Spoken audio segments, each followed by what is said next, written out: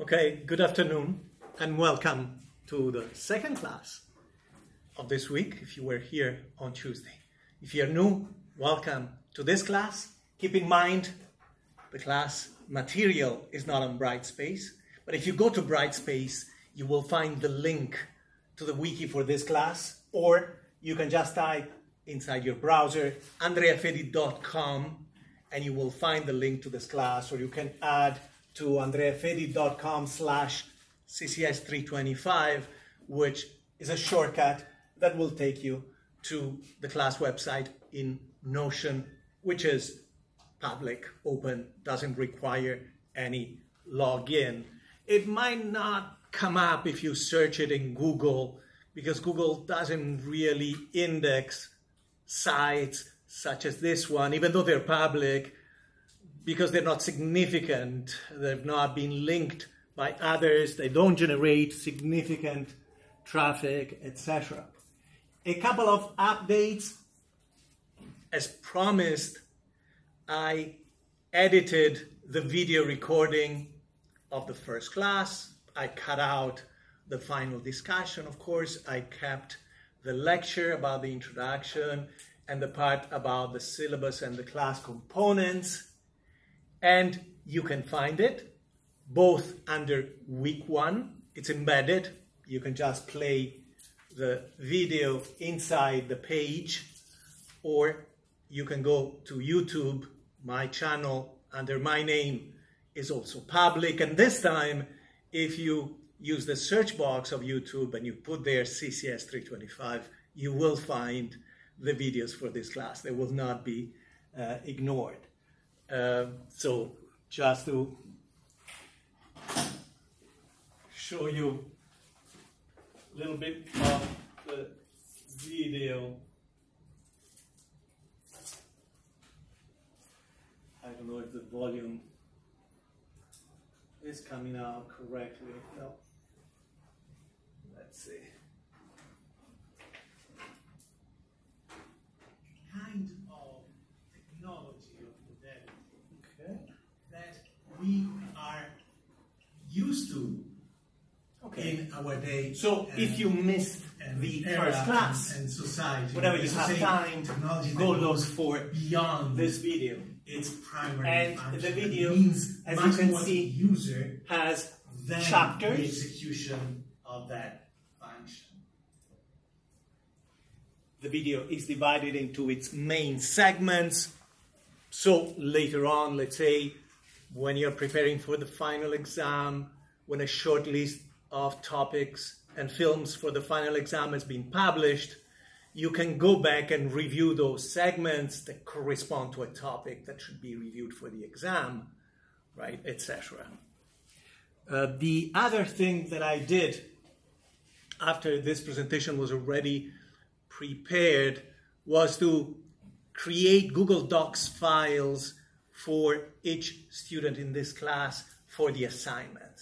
As specified in the syllabus, all the assignments, all the written assignments, there will be about five, plus the some of the class activities, perhaps, and more importantly, the final project will be posted within the same file, which presents various advantages. If you come to see me to discuss the class, it's simple for either of us to open the file and talk about an assignment. But more importantly, if you have questions about an assignment, you can use the comment feature inside Google Docs where you say, Professor, can you explain? Or, Professor, am I doing this assignment correctly? Let me know before I proceed. Because that will generate, since I created those files, will generate a notification on my side, which will appear on my inbox. And as soon as I can, if I'm not in a meeting, etc., I will respond to you. Okay? So, if you have any questions about the Google Docs files, first of all, you should have received a notification. The files were created between 11.30 and 12.30 today. You should have received a notification with the link. And once you open the file, there are already some instructions. And otherwise, let me know. Reach out to me come to talk to me after this class or come to my office after the class in the fourth, on the fourth floor of the library E4340 inside the Center for Italian Studies because I'm the director of the Center for Italian Studies. But my office is easy to find once you enter, or send me an email asking for instructions. Okay, there is also an announcement about the Google Docs file, so you can also consult the announcement page.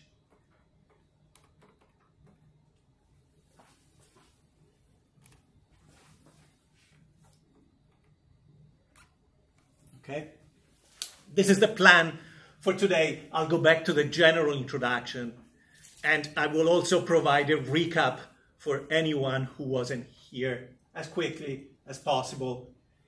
I will try to do an activity in class, talk some more perhaps, and before the end of the class, I will show you 15 or 20 minutes from the first movie of the semester. Usually, movies will be shown on two separate Thursdays. So today we will watch the start, the beginning sequences of the movie, and then Thursday we will watch some more of it. And there is a specific page where not only you can find a synopsis, a detailed synopsis with quotes that I put together, but you can also find images from the film. You can find PDFs with screenshots of the film. If you're into film studies, if you want to analyze the uh, style of the film, that's the way to go, right? I usually take films and then automatically take a screenshot every second so that all the frames are represented, all the camera angles, the editing can be studied, etc. It's, it's, not a requirement, but again, routinely there are film, film studies students in this class, and I myself uh, was in the department of uh, cinema and cultural studies before it was closed, but the courses are still there. And that'll be it for, for today. So, what were we trying to do on Tuesday? We want to talk about the technological innovations that caused a real revolution within the field of transportation and mobility within the 19th century.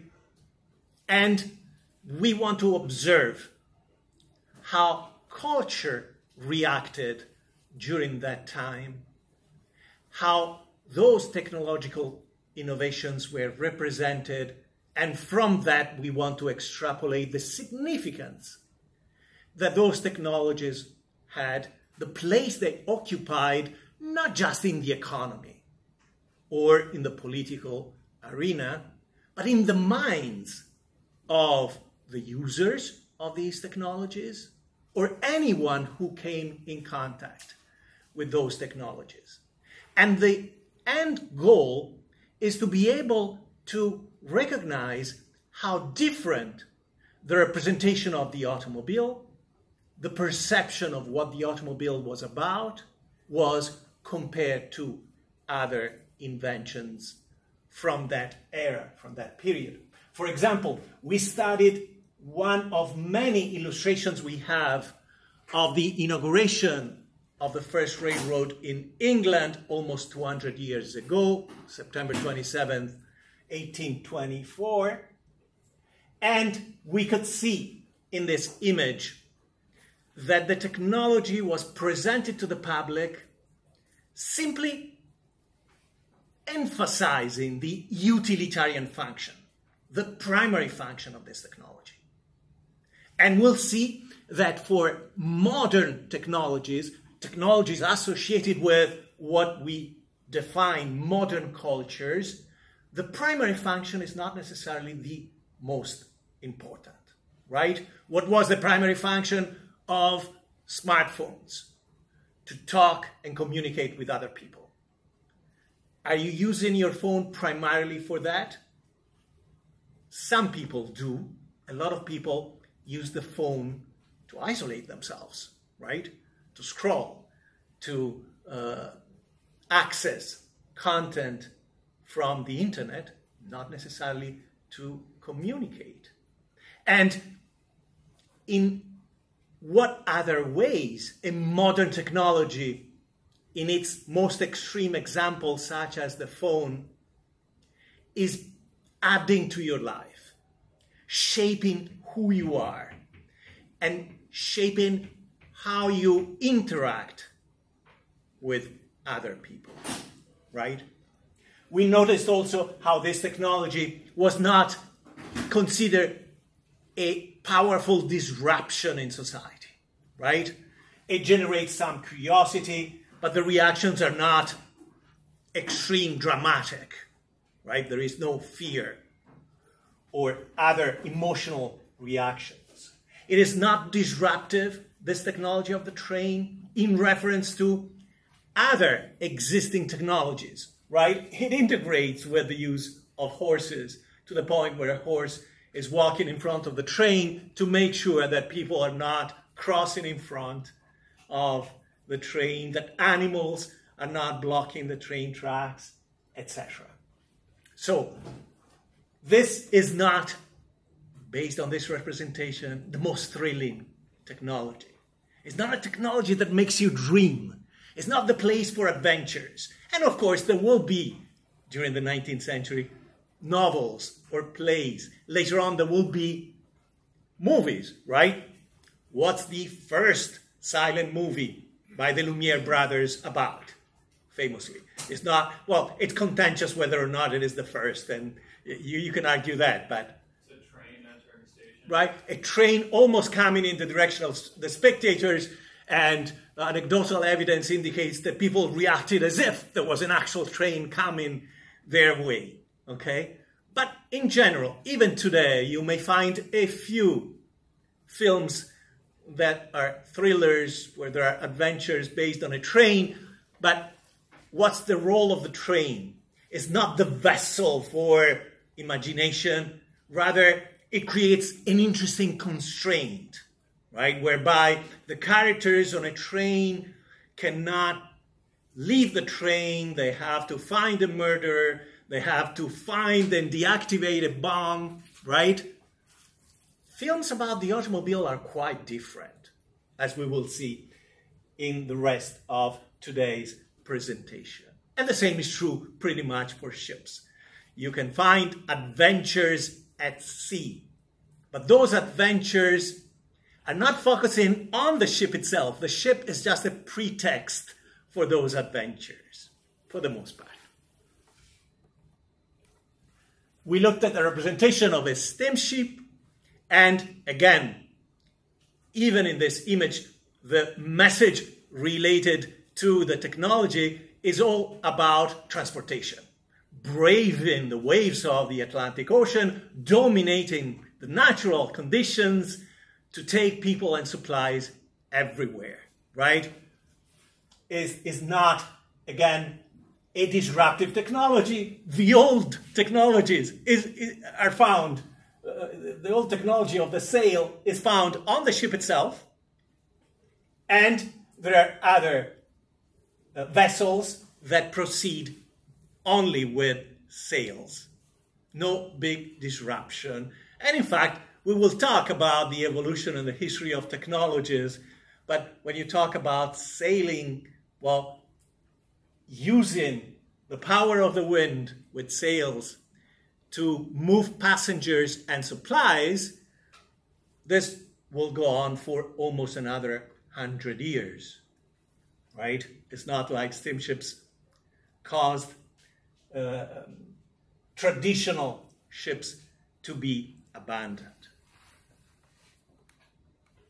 We talked about electricity, and I showed you this uh, more recent image of a power plant at Niagara Falls because we all associate electricity with energy and we know that this energy travels through the wires to get to our homes.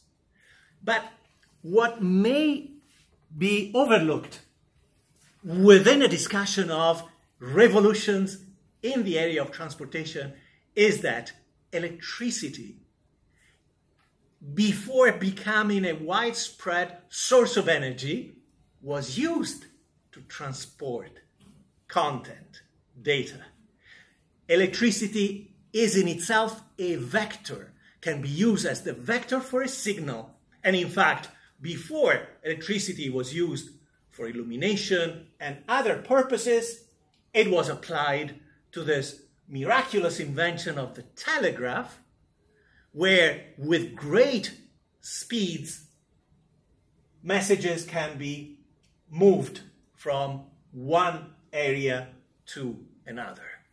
And this is really the beginning of a larger revolution within the culture of the time, because this is where the concept of speed reaches, the phenomenon of speed reaches levels previously unknown to any other civilizations, and you get the idea that speed can be considered quite another dimension. And later on, from the beginning of the 20th century, you have this idea that speed is the distinctive quality of modern societies.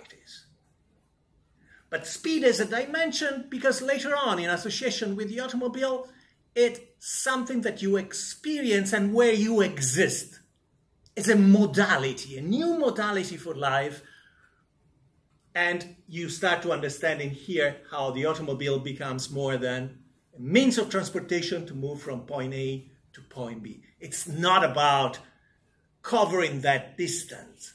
It's about what you feel while you're traveling at speed, moving from one place to another. And then at some point, pretty soon, it's just about moving without destination, right? What you can call cruising in some cultures, but what is essentially the use of the automobile without any secondary goals, right? Not to get somewhere or not to get to an external destination. It could be an internal destination in some works of fiction or films, right? Whereby driving, let's say driving at night on a particular kind of road becomes a mystical experience that allows you to get deep into your thinking or get deep into the emotions that you are feeling. And by you, it, it can be any of you if, if you had that experience, but uh, more often is the character in a film. And I provided an example that we'll look at later. This modern monument celebrating the first automobile trip in the real world made by Bertha Benz in 1888 reflects our view or the more recent view of the automobile, which is not simply a vehicle, is not simply an extension of the rider or passenger or the driver.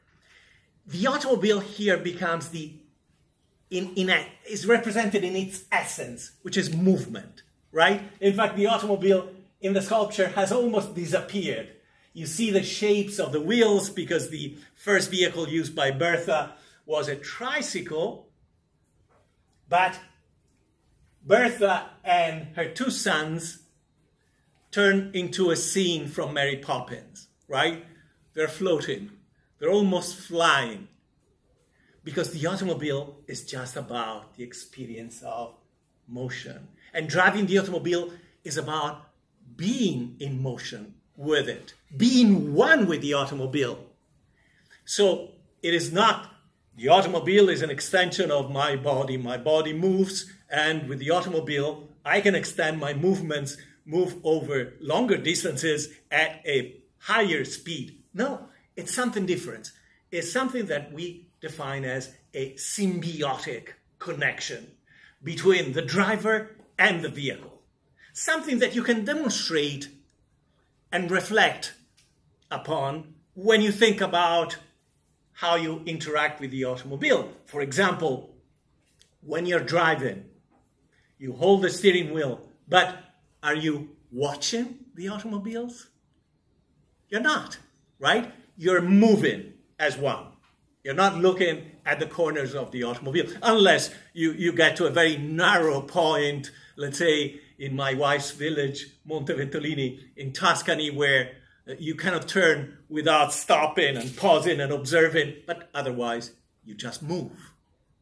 Or think about the experience of, let's say, coming to the university while thinking about an exam, while reviewing in your mind something, right? You can do that.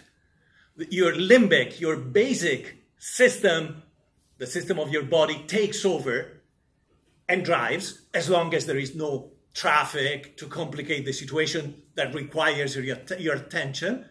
And therefore, your basic nervous system takes over the action of driving while your mind is free to think, right? Sometimes I, I think about my classes uh, when I'm driving because, of course, I'm doing the same itinerary that I've done for the past many years. So think about those things and concepts. We talked about the impact of the ship, of steamships, of trains on the environment, and certainly the automobile has an even greater impact. But think not just about the environmental impact. Think how in the US, especially during the 1950s, 60s, and 70s, the construction of highways everywhere, including Long Island and the vicinity of New York City, caused the relocation of, great, of a great number of businesses and people, right? You start by building highways to connect major urban areas or commercial hubs. But then, once the highways are there and they generate traffic, people move, and you can see that even in this image, people want to move next to those highways. And during that era, well into the 1970s, there were neighborhoods, even in New York City, that got depopulated because people wanted to be closer to certain thoroughfares. Okay, that's the biggest impact. And we talked about suburban areas and how houses in those areas serve the need of people moving with a car, right? The house is an extension of the driveway, and the driveway uh, leads to uh, the communication networks. And to have basic, conspicuous evidence that the automobile to this day is being presented and marketed as a different kind of technology, which is not about transportation, rather, it is about the thrill of it. You have this constant, obsessive emphasis on the speed. Even when speed is not accessible with a street legal car in any way, shape, or form possible, or even when whoever drives these cars or whoever purchases these cars is not really able to master those speeds, even on a straight. And I provided several examples. This is a recent example of an American car that has a top speed of 300. But even electrical cars were marketed the same way, right? This is an extreme example, the Rimac Nevera presented by Marques Brownlee. But Tesla did the same.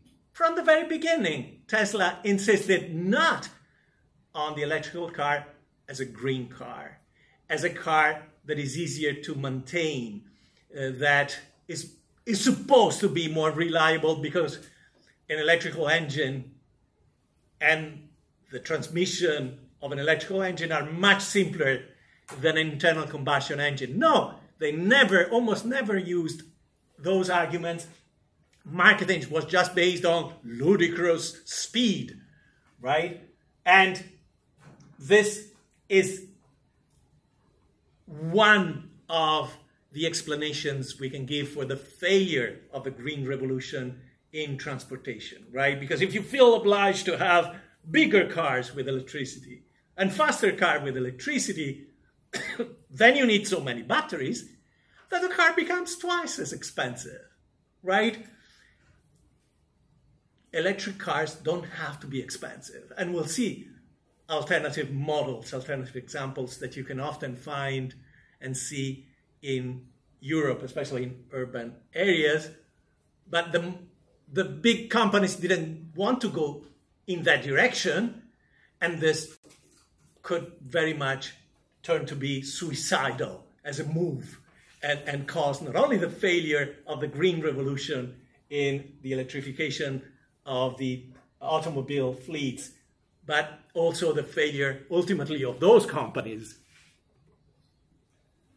One way to realize how different, in terms of the connection to the mind of the users and to society, the automobile is, is to consider how many museums, this is the MoMA in New York, have included in their collection automobiles as an example of art because of their design, right? And it's not something that happens with a lot of other technologies. There are always exceptions, of course, right?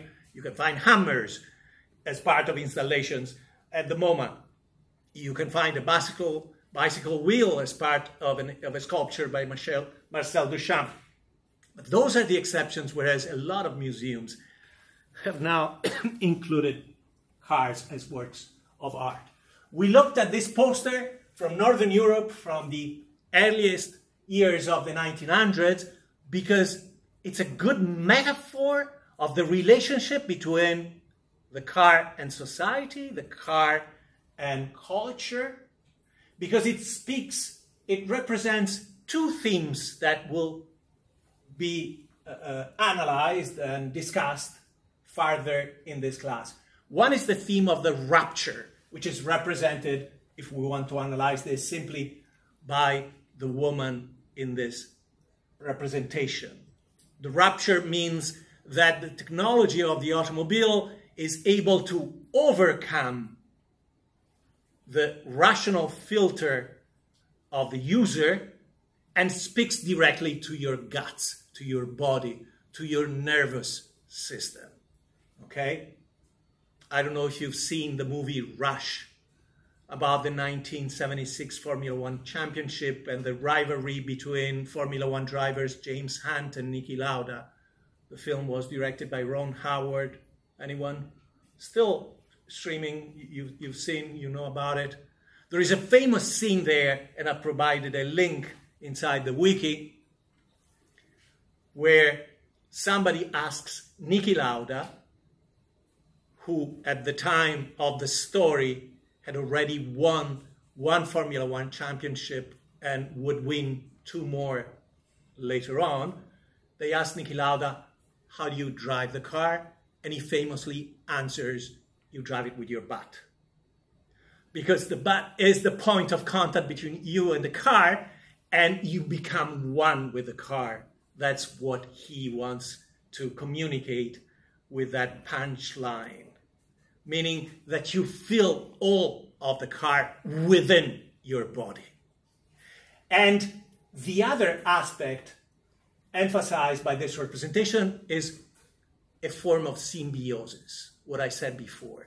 The idea that the car is not a mechanical extension of our body. The car, through the connection with our body, gains access to our nervous system and we, in turn, gain access to the mechanical parts of the car. We feel the engine, we feel the body of the car around us, like an exoskeleton.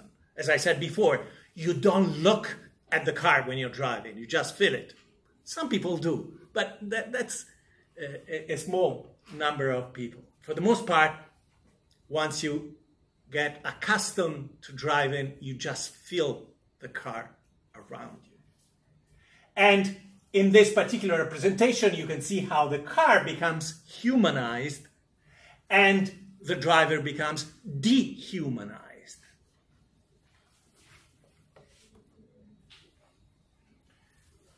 We mentioned how, strangely enough, especially during the last 20 or 25 years, a lot of automobile museums have opened all over the world, and tourism has benefited from this. There is an entire branch of tourism based on visiting museums. For example, as part of the marketing campaigns, you hear now and for the past 10 years about the Motor Valley in Italy. Do you know where the Motor Valley is and why it should be called Motor Valley? Try to guess. It's the area between Modena and Bologna, where the original factories for Ferrari, Stanguellini, Ducati, Lamborghini, and other small manufacturers, Pagani, could be found. And nowadays, there are several museums or collections that you can visit. Please. I'm sorry? Yeah, Emilia Romagna. That would be uh, the northern part near Bologna, about two hours south of Milan. And in fact, there are plans to have a, an automobile museum even in New York. I, I don't know if this will happen. I said strangely during the last 20 years because we'll see how clearly the technology of the automobile has plateaued or is going in the direction of a decline in terms of importance, both commercial importance, right? As you will see from my notes, in the 1960s, when you looked at commercial products, one out of five dollars was spent for automobiles. And you can think, yes, Professor, must be even worse now because automobiles have become so expensive. No, there are so many other commercial products that we spend money on that the automobile does not represent 20% of the market. Okay? So things have changed and will continue to change. So the automobiles are a test, the museums are a testament to the relevance of the automobile in the past. We talked about to look at the evidence for the unique status of the automobile as a technology at the market for vintage cars. This is an example of a Ferrari sold by Sotheby's in California a few years back, I think in August of 2018, for $48 million. And that's not even the most expensive. I mentioned how this August in California, three auction houses convening for the Pebble Beach concourse around Laguna Seca sold about $400 million of cars in just a few days, just three companies, just one event. And it was the same last year. Actually, they lamented a decline because it was 2% less than last year. I don't know how they will make do or, or continue on, but there are elements that make us think that there is a shift, right? The problem there is that there is a generational cultural change. That when a big collector dies, someone who has collected unique cars, at this point, chances are the family, the descendants, will sell those cars, not keep the cars, because the next generation is not attached to them as much as the older generation. As I said before, there are a lot of films about the car and the magic of the car. And the first thing you think is, is films about racing. However, those films are not that common. There are always a few, right? Right, last year there was Need for Speed, which was decent enough. If you, if you find it streaming, especially if it is free, watch that film. It is based on a real life event, so decent. This was a nice movie Ford v Ferrari. And from this movie, I've linked two videos that I suggest you watch. And I'll show you one of them right now. So, Matt Damon is playing the part of a uh, of Carroll Shelby, who was the manager of a racing team, a successful racing teams, and gets approached by Ford. Ford at that point in the 1960s, is angry at Ferrari because Ford was about to purchase Ferrari. Ferrari had a lot of financial problems, which you can see also in the more recent film Ferrari with Adam Driver, right?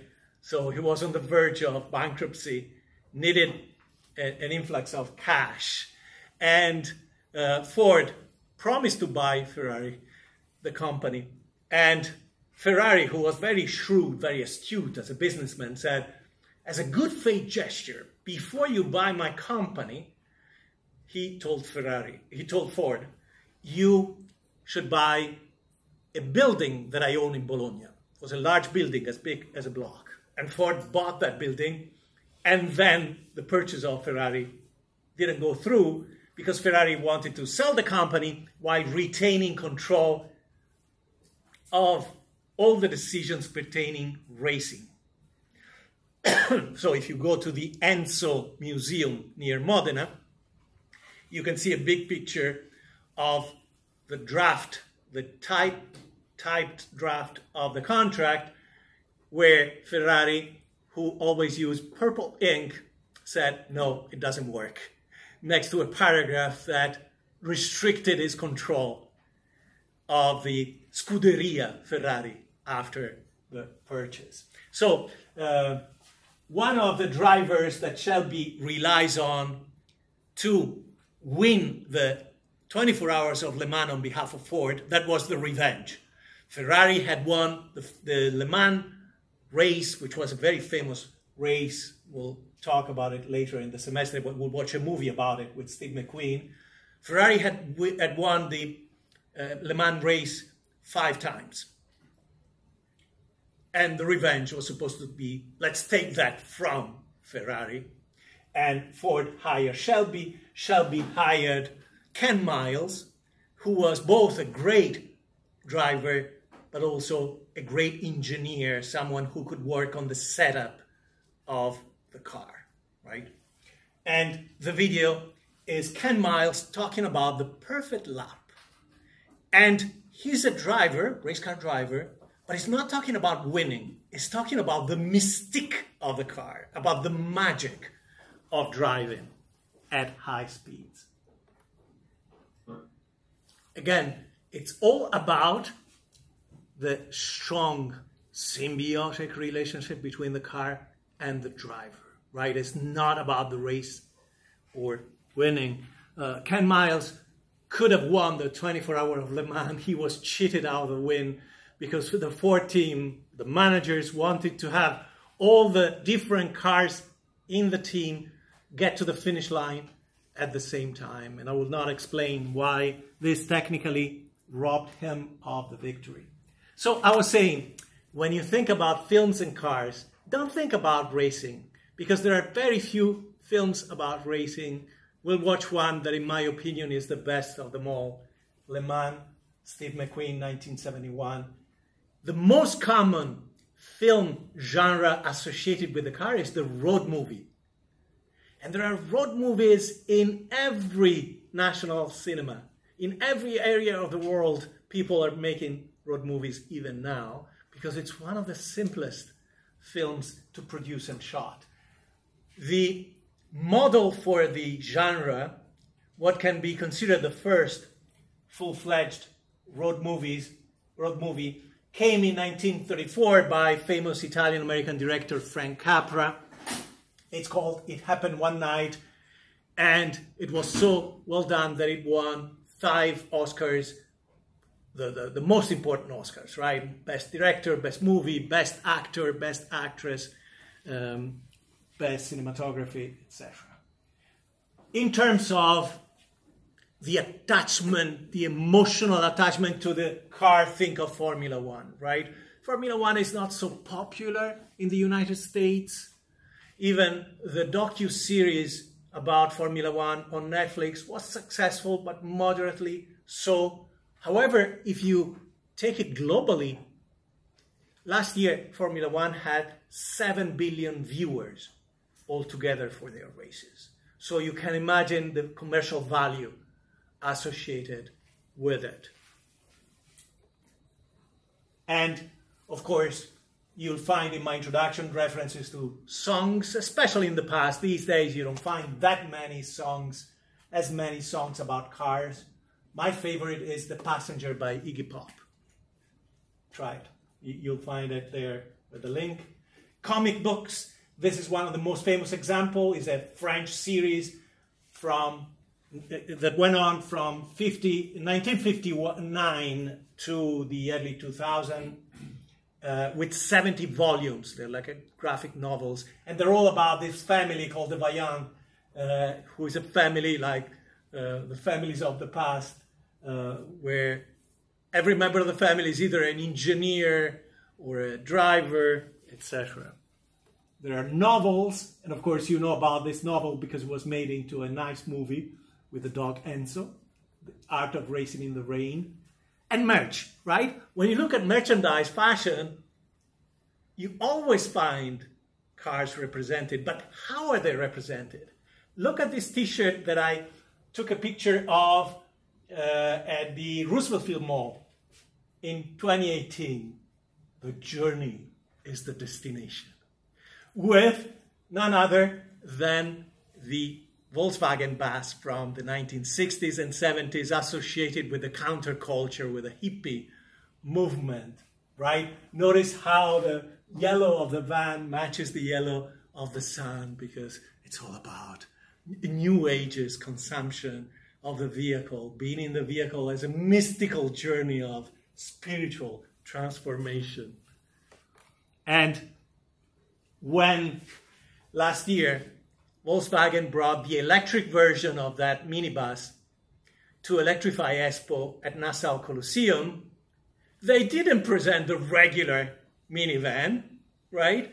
They presented a version with a bed, a mattress behind, with pillows with iguanas to suggest exotic adventures that could be had uh, on this, right? On, on, with this electric minivan, which I believe is cost has a price tag of $80,000. Okay? But again, you market a vehicle with the idea that it'll take you places. It will change your life. It will change your lifestyle dramatically one way or the other. Of course, it was a cheaper message, a more trivial message in the 1960s and 70s, where in a commercial about cars, you would see what? Cars, men and what was the third element in almost every commercial about cars, whether it be a commercial ad in a magazine or on TV. Cars, man.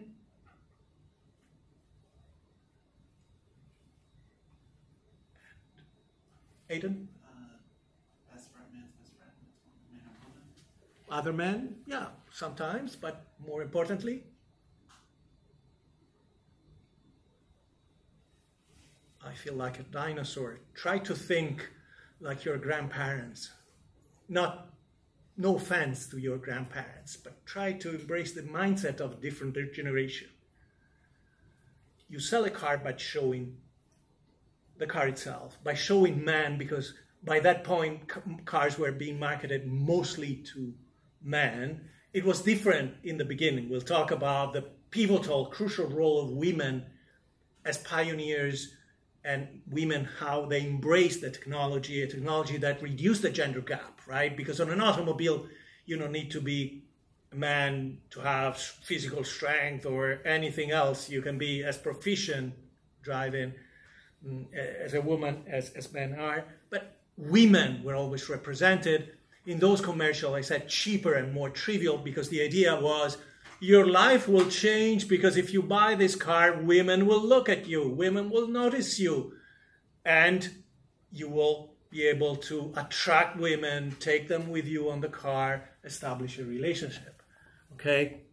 But it's something, always something else, something other than just transportation. That's my point, right?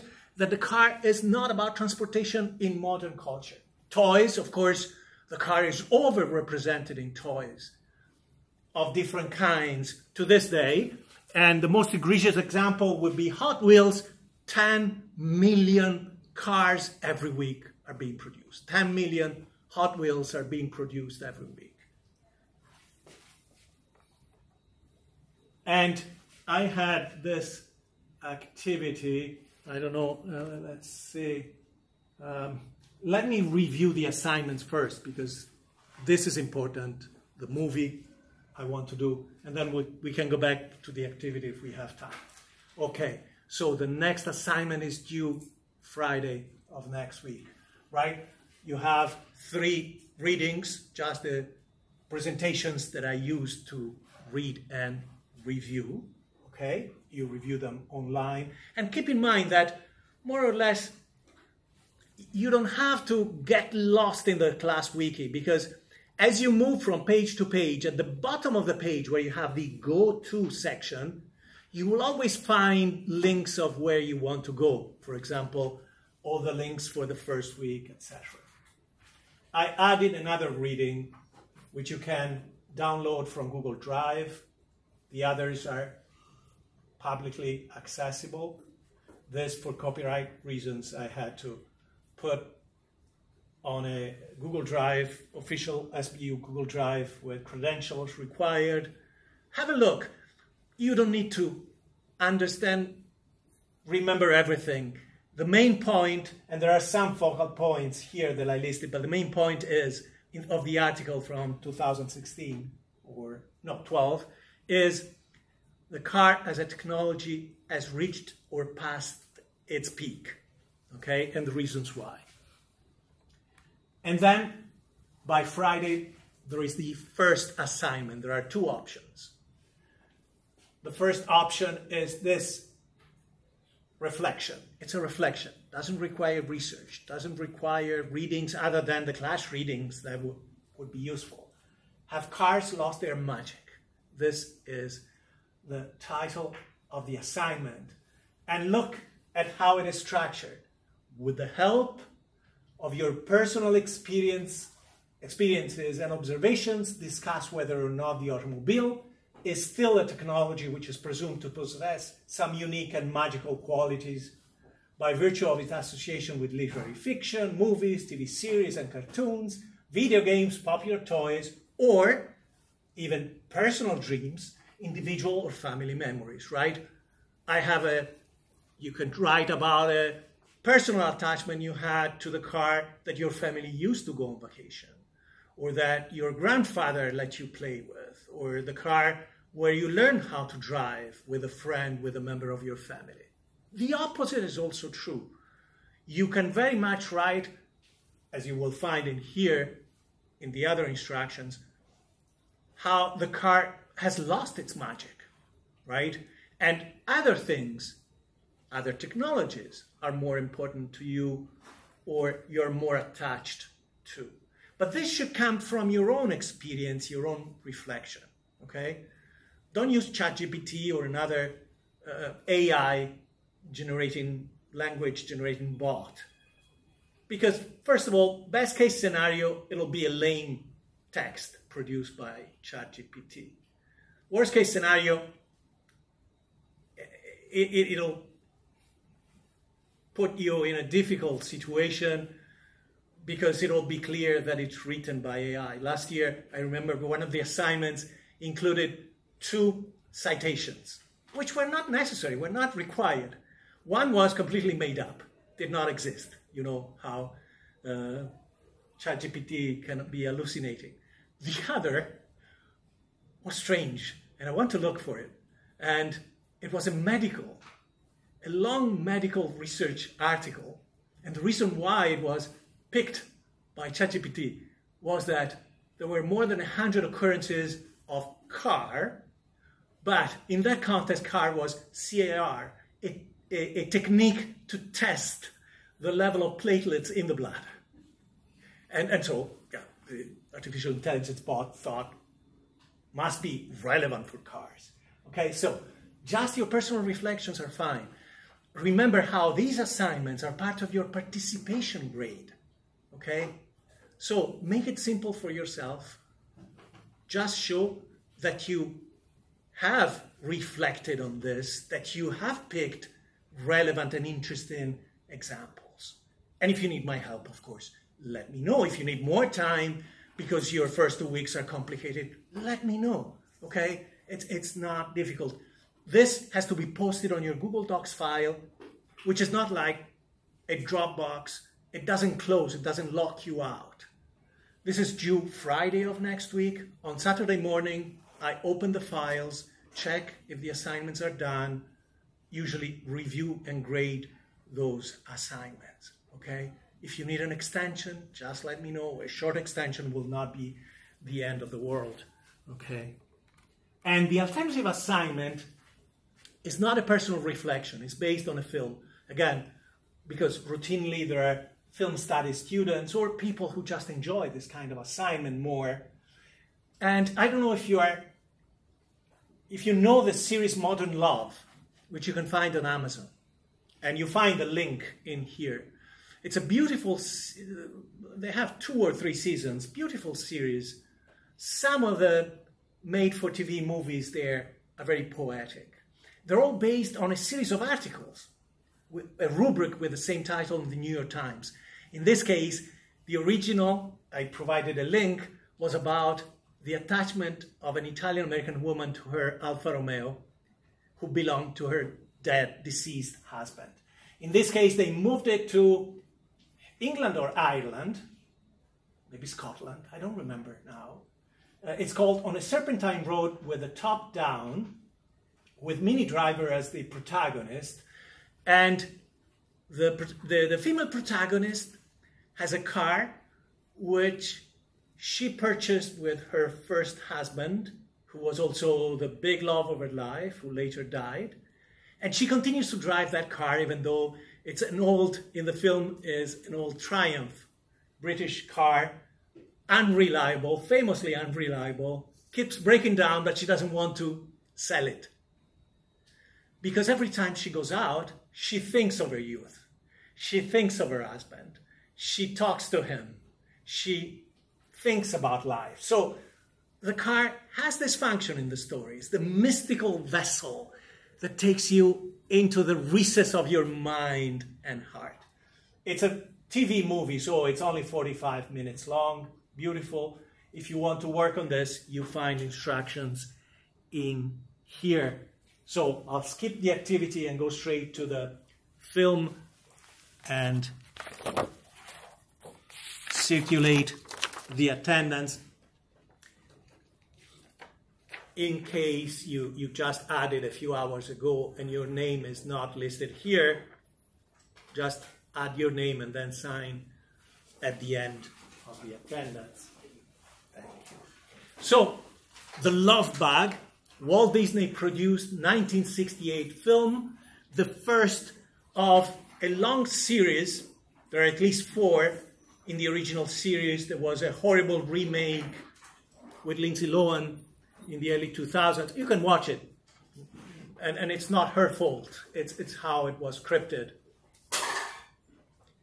And it sold a ton of merchandise. Even I, as a kid, I was born in 1963. I went to see this with my parents as a kid.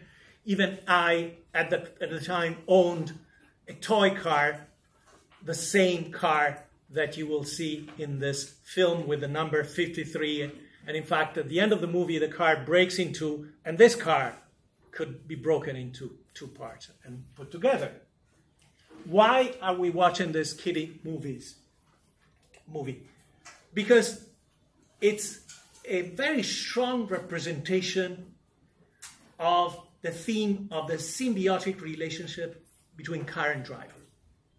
The protagonist Jim Douglas is a washed washed out driver who's at the end of his career. He's not winning, and therefore he cannot get cars his, or, or get hired by a team. He's about to give up on his career. He lives in California, in San Francisco. Then we'll see how, almost randomly, he finds this little Volkswagen Beetle. The production thought a lot about which car would work in here. They decided to pick the Volkswagen Beetle.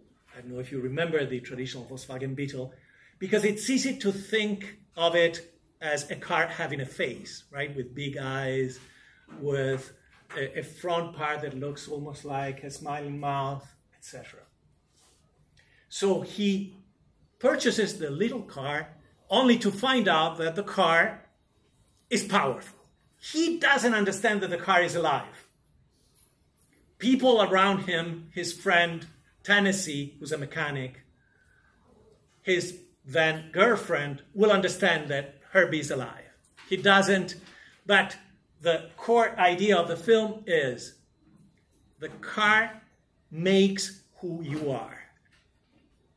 And there are a lot of films, we'll watch a series of them with this kind of theme. It's the theme that you find in Bumblebee from the Transformers series, the theme that you find in the horror movie Christine from the 1980s, which uh, uh, will be remade and distributed shortly. Okay? So, for now, we'll just watch the film and think of the relevance of the car and the connection between the transformation of the characters and the car itself. And what the car gets from the user, the driver, what the driver gets from the car, how they change each other.